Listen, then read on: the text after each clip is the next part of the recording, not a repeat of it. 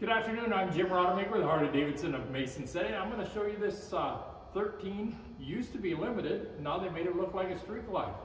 As you can see, yellow and black, it still has the heated grips. It's just a very, very good looking bike. Um, it's um, got everything the limited had except the tour pack. It's got the lay down license plate on it. It's, uh, as far as the, the motor goes, pretty box stock, but it's just a good looking bike. For more information on this, you can reach us at www.harleyofmc.com.